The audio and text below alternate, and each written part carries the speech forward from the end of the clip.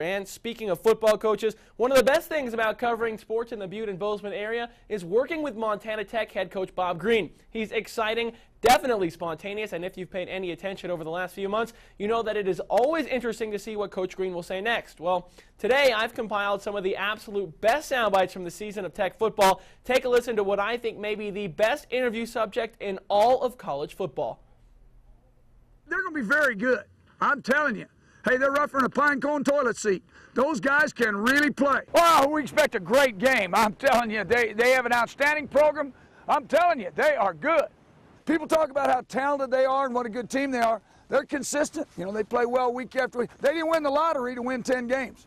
Yeah, well, we won one, lost one, won one, lost one. It's kind of a math thing, you know. If we'd lost our last one, we'd lost two out of three. But if we'd won our last one, we'd won two out of three. And it'll be the older guys, you know. Now, the younger guys, a little bit lost, kind of like Chinese arithmetic. Everything should fit together, and that's the way we have. I really feel like our team at this point is ready to go hit individuals from another institution of higher learning. Every game in the frontier requires everything you've got. Everything you've got. Everything we've got, we're working on Western. Everything. Every ounce we got is working on Western. You know, our football team grows all the time. They just keep swinging. They just keep getting better. You know, you crack enough eggs, you'll get an omelet. We can't wait for kickoff. But we got to practice a little bit. We got to practice a little bit. I want these guys bouncing around today like a pogo stick on Viagra. The season's a lot like a roll of toilet paper. The closer you get to the end, the faster it goes. And so we've got to realize the importance of each football game. Oh, sure. You know, when, when we can't run the football, you know, I feel like, uh, you know, we're kind of kind of out of it a little bit, you know. Uh, like you're trying to sell bubble gum in the lockjaw ward. You know, you just can't get much done. What we've told our guys was let's study that thing and then get busy. Like a homely girl on a honeymoon. Busy. Busy. Busy. We want to be busy. I hate to sound like an old coach, but I'm an old coach, you know. Uh, again, like we said, I, I hate to say that sounds like an old coach, but I'm an old coach. I was coaching when the Dead Sea was only sick. When I first started coaching, Christ was a kid. Uh, you know, we had an almost game. You know, we were almost uh, almost good enough. We uh, we had several opportunities to make plays. We didn't get the plays made. We got to make more plays. It reminded me when I was in the third grade, and it came time to go to the fourth grade in June, and they told me I was almost good enough to go to fourth.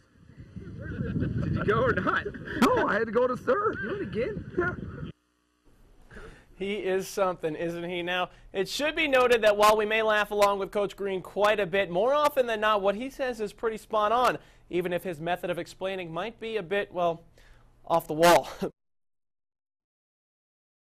And speaking of football coaches, one of the best things about covering sports in the Butte and Bozeman area is working with Montana Tech head coach Bob Green. He's exciting, definitely spontaneous, and if you've paid any attention over the last few months, you know that it is always interesting to see what Coach Green will say next. Well, today I've compiled some of the absolute best sound bites from the season of Tech football. Take a listen to what I think may be the best interview subject in all of college football.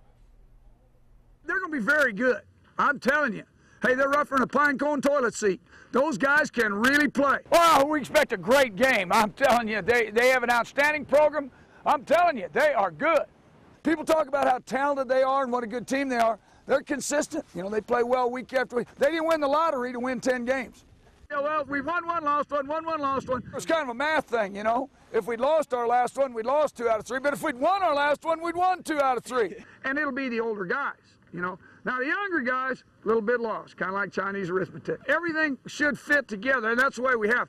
I really feel like our team at this point is ready to go hit individuals from another institution of higher learning.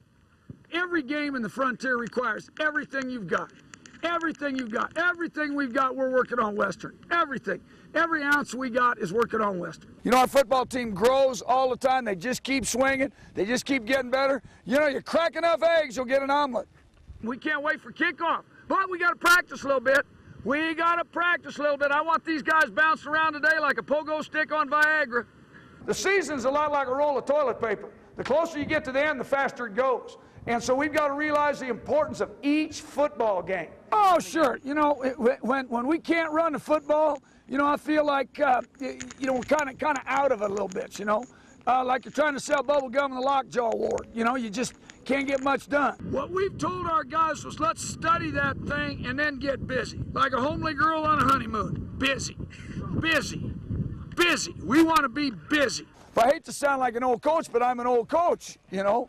Uh, again, like we said, I, I hate to say that sounds like an old coach, but I'm an old coach. I was coaching when the Dead Sea was only sick. When I first started coaching, Christ was a kid.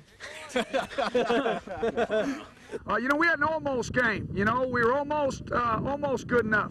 We uh, we had several opportunities to make plays. We didn't get the plays made. We got to make more plays. It reminded me when I was in the third grade, and it came time to go to the fourth grade in June, and they told me I was almost good enough to go to fourth.